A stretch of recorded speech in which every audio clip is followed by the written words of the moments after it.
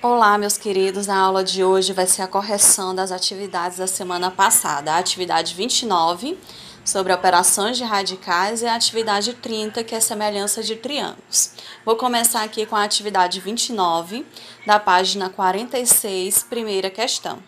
Reduza as seguintes expressões à sua forma mais simples. Na letra A eu tenho raiz de 12 mais raiz de 75 menos 9 raiz de 3, mais raiz de 27, mais raiz de 48. Como é que eu resolvo isso aqui? Então, olha aqui, ó. Primeiro passo é você fatorar cada uma dessas raízes, certo? Você vai fatorar o 12, fatorar o 75, o 3 não precisa fatorar, vai fatorar o 27 e o 48, certo? Quando você fatora, vai ficar o seguinte: o raiz de 12, ele vai ficar raiz de 2 ao quadrado, certo? Vezes o 3. Esse é o raiz de 12. Mais raiz de 75 vai ficar o quê? 3 vezes 5 ao quadrado. Aqui eu já fiz a fatoração, só estou colocando o resultado, certo? Menos 9 raiz de 3, como não foi fatorado, você só repete, mais raiz de 27, que é raiz de 3 ao quadrado vezes 3, mais a raiz de 48, raiz de 48, que é 2 ao quadrado vezes 2 ao quadrado vezes 3, certo? Aí como é que você vai fazer? Esses que estão ao quadrado, você vai tirar de dentro do radical, certo? Os que não estão ao quadrado, fica dentro do radical.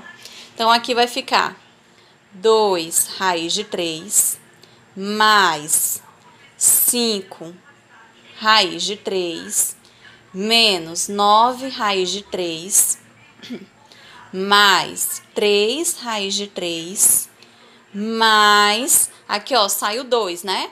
Sai esse 2 e sai esse 2. Fica 2 vezes 2. 2 vezes 2 é 4. Então, fica 4 raiz de 3, certo? Aí, vamos calcular.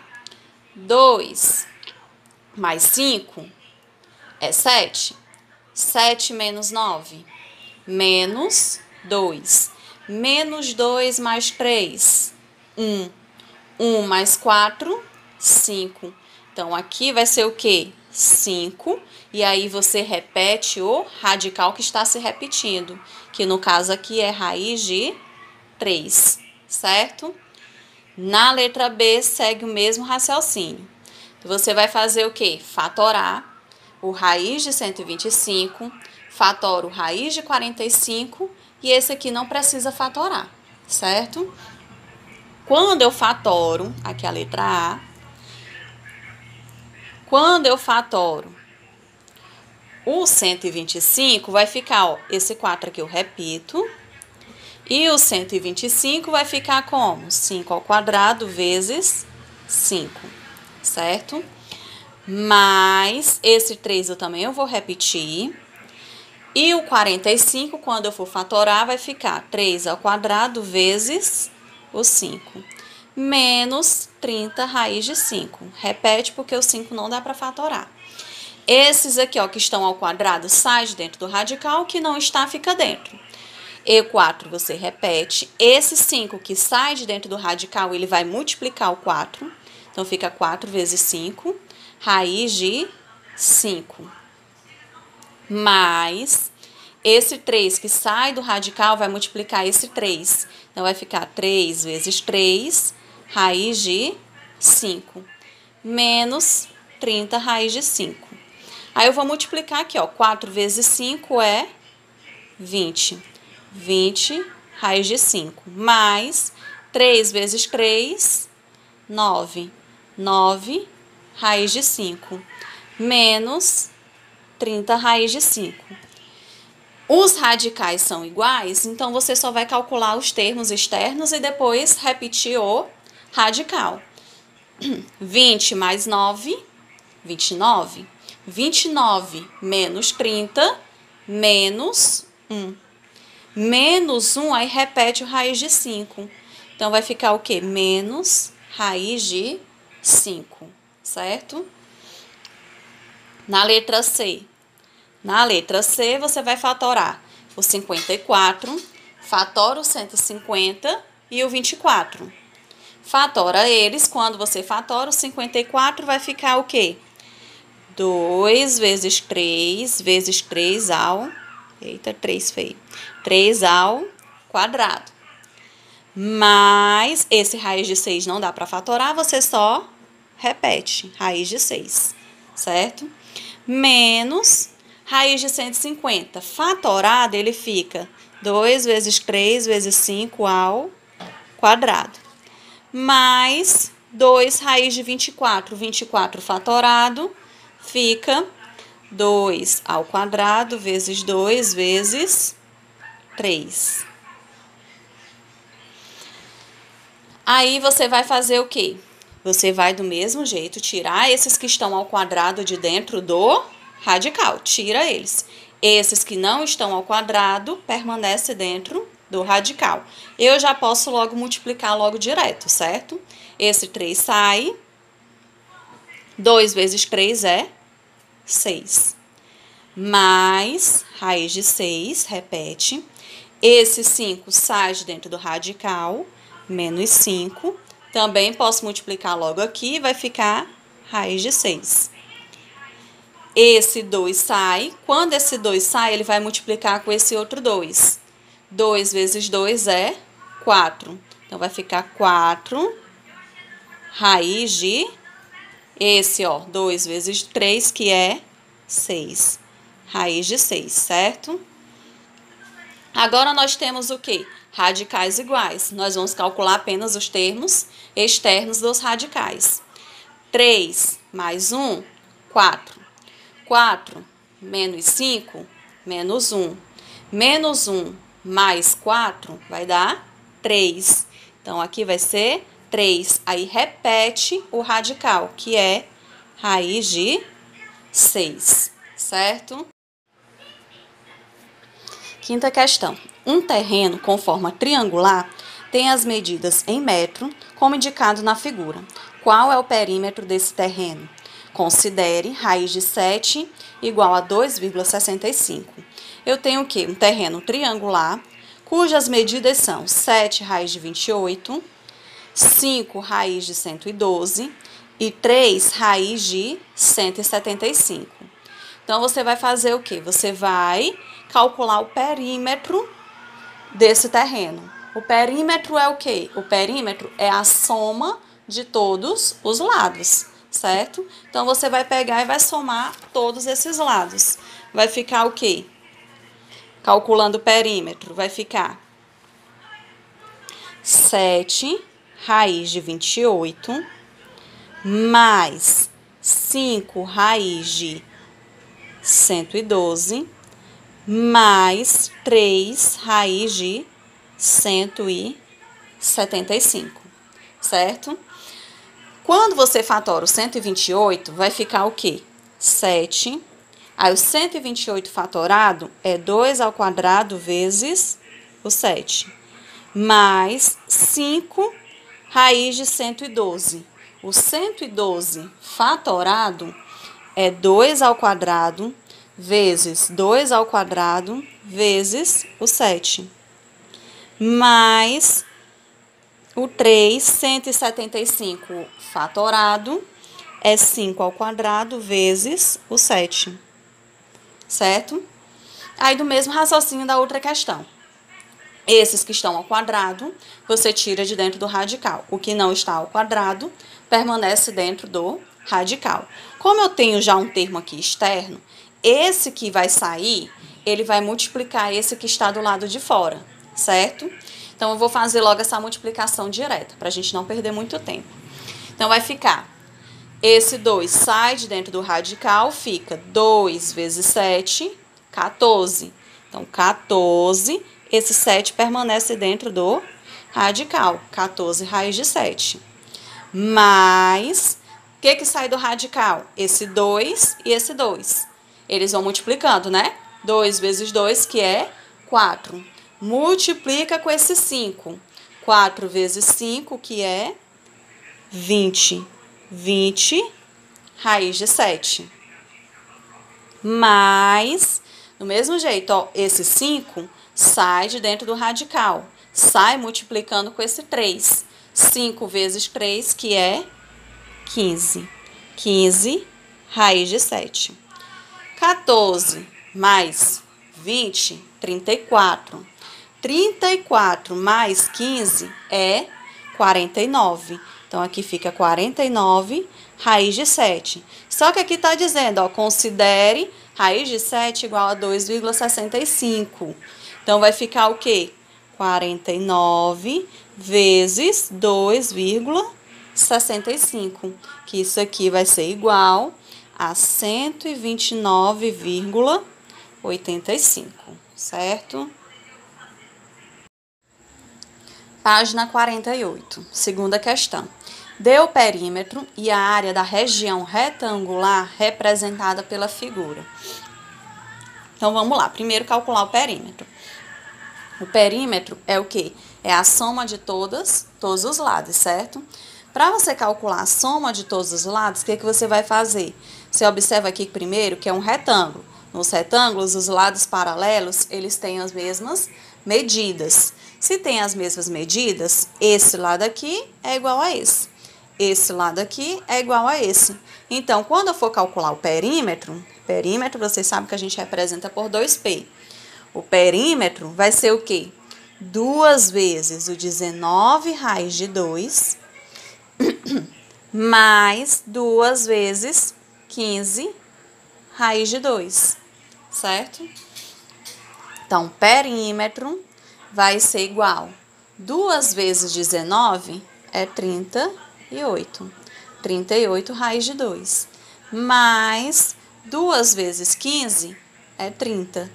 30 raiz de 2. Então, perímetro vai ser o quê? 38 mais 30, 68, raiz de 2 centímetros. Esse é o perímetro.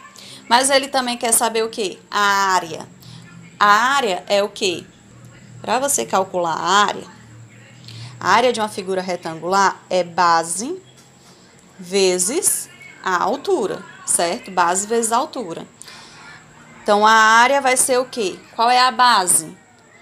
A base é 19 raiz de 2, vezes a altura, que é 15 raiz de 2. Então, nós temos aqui, ó, a área, 19 raiz de 2 vezes 15 raiz de 2. Então, você vai multiplicar. Eu vou multiplicar aqui, ó, 19 vezes 15, que é 285, e multiplica raiz de 2 vezes raiz de 2. Raiz de 2 vezes raiz de 2 é raiz de 2 ao quadrado. Raiz de 2 ao quadrado.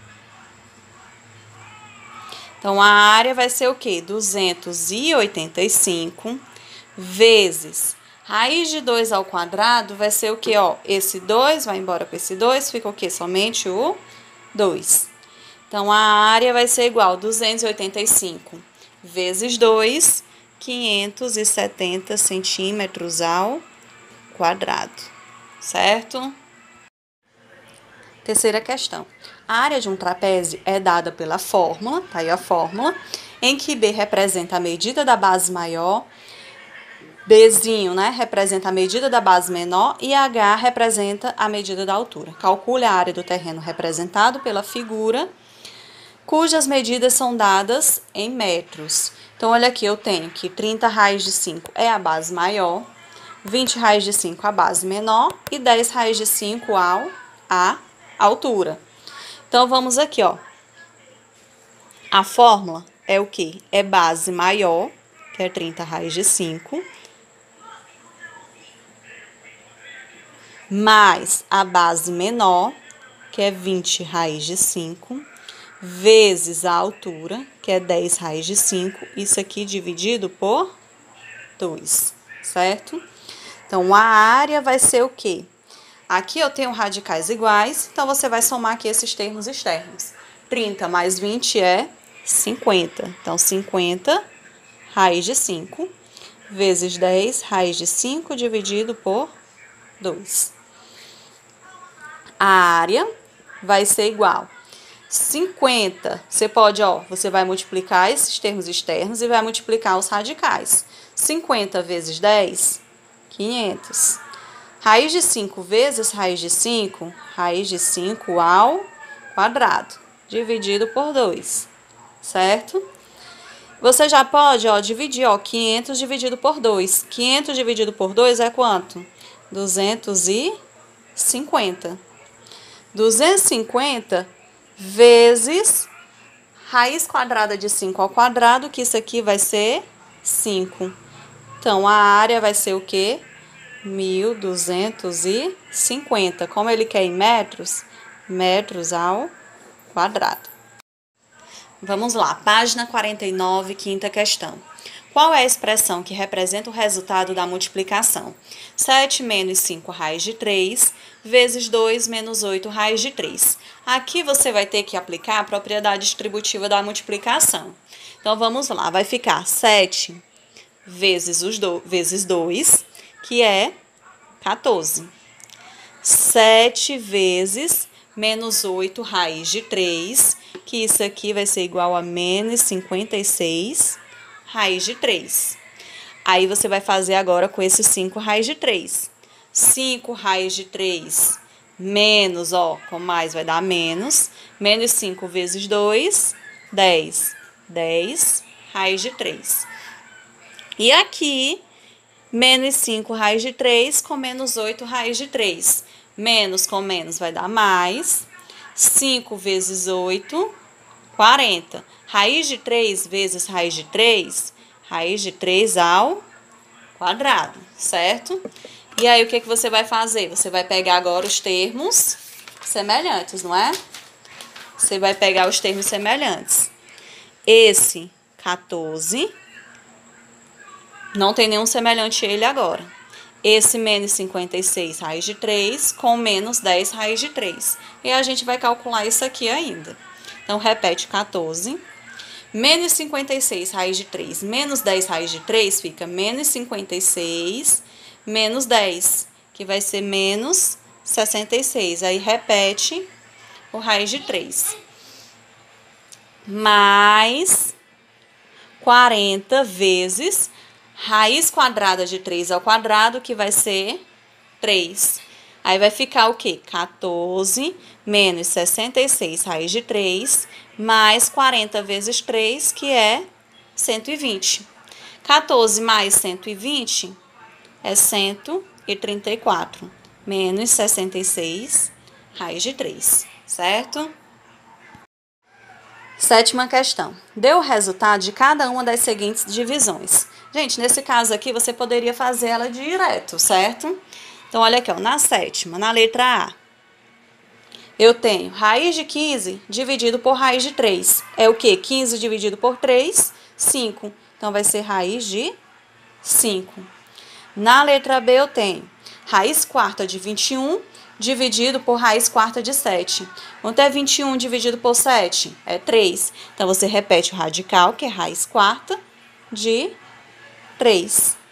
Na letra C, raiz de 162 dividido por raiz de 3. 162 dividido por 3 é 54, certo? 54 é o número que dá para fatorar. Quando você fatora, você encontra um 3 raiz de 6, certo?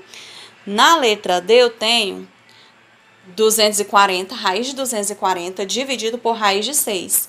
240 dividido por 6 é quanto? É 40. Raiz de 40.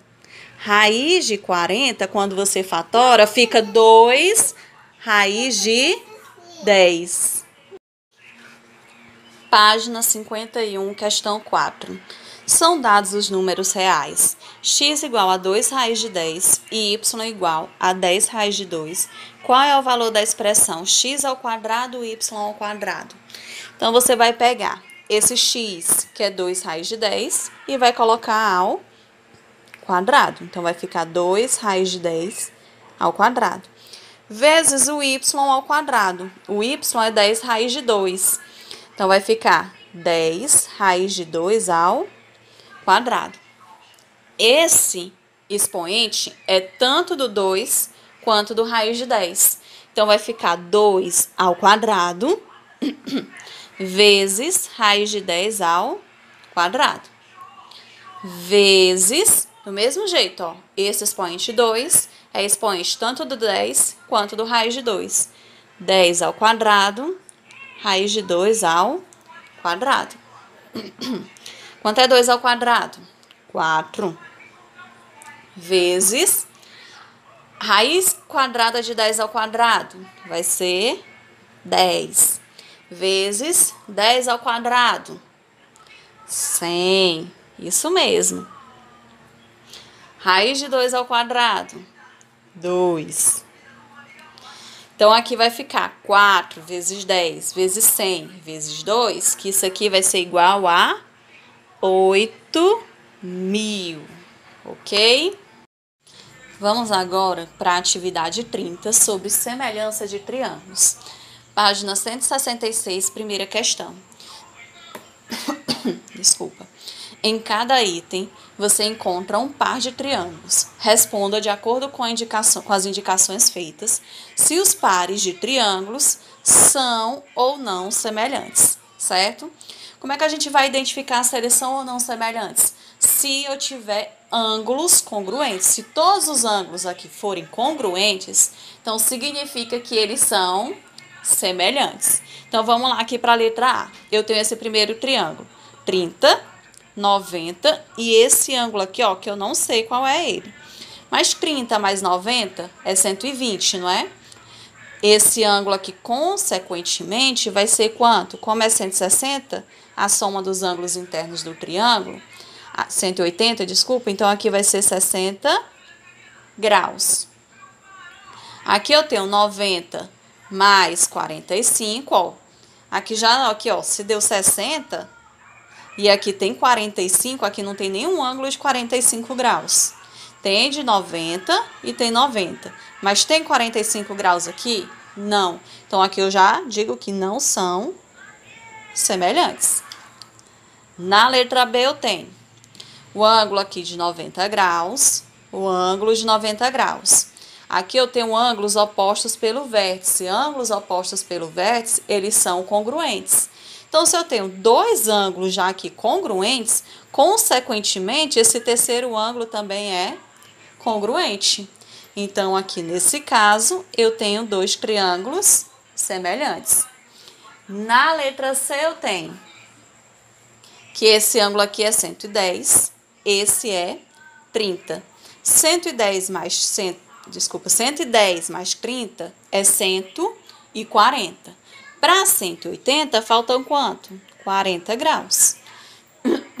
Aqui eu tenho 110 e 40. 110 mais 40 é 150. Para 180, falta 30 graus. Eu tenho que todos os ângulos aqui eles são congruentes. Se os ângulos são congruentes, então eu digo que esses dois triângulos eles são semelhantes, certo? Página 167, segunda questão. Quais as condições que lhe permitem afirmar que os triângulos abaixo são semelhantes? Vamos lá, vamos analisar. Eu tenho esse ângulo de 90 graus e aqui eu tenho um ângulo de 90 graus. Aqui eu tenho um ângulo de 50 graus e aqui eu tenho um ângulo de 50 graus. Dois ângulos congruentes, eu já consigo afirmar que esses triângulos eles são semelhantes, porque o terceiro ângulo com certeza vai ser também congruente. Então, o que, que eu posso afirmar? Como é que eu posso concluir aqui, ó? Qual é a condição aqui que me faz permitir afirmar que eles são, congru que eles são semelhantes? Que o ângulo B, que o ângulo B, ele é congruente ao ângulo E. E o ângulo C, ele é congruente ao ângulo D. Se eu tenho dois ângulos congruentes, então eu já posso afirmar que eles são semelhantes. Terceira questão. As indicações feitas nos triângulos abaixo nos permitem afirmar que o triângulo ABC é semelhante ao triângulo MNP. Aqui eu já estou afirmando que eles são semelhantes. Qual é a relação de igualdade que podemos escrever entre as medidas x, y e z? Então, eu já estou afirmando que eles são semelhantes. Se eles são semelhantes, os lados correspondentes, eles são correspondentes, né? Eles, eles são semelhantes, certo? Então, vamos lá. O que a gente pode fazer com os lados correspondentes? Existe uma proporção entre eles. Eles são proporcionais. Então, significa, aí vamos analisar.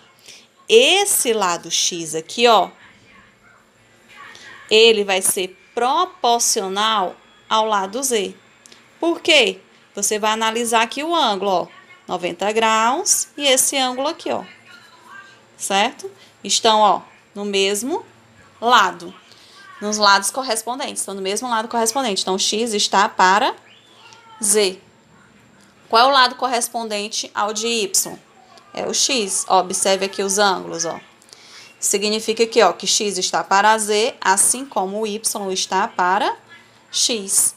Aí você faz aqui, ó, o meio pelos extremos, x vezes x, x ao quadrado, igual y vezes z, y, z. Quarta questão.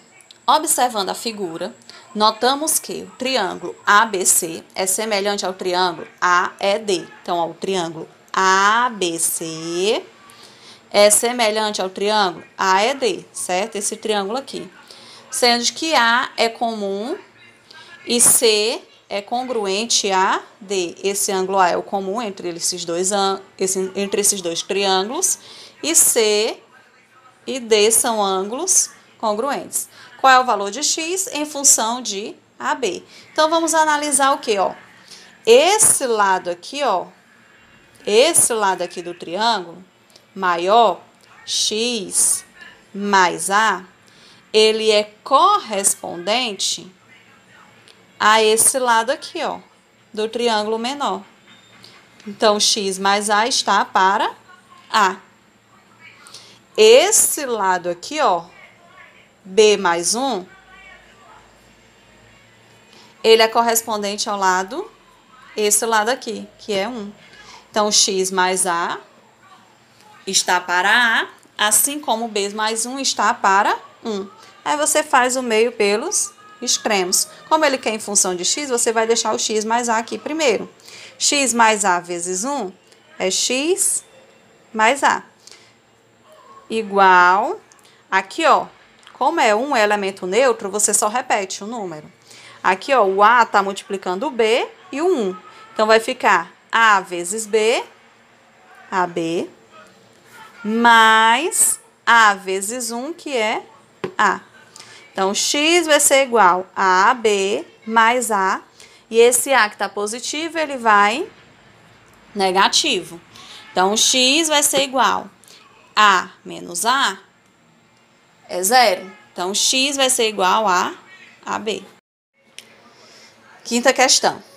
Calcule a altura H de um prédio que lança uma sombra de 19,2 metros no mesmo instante que uma árvore de 8,4 metros lança uma sombra de 5,6. Então, vamos lá.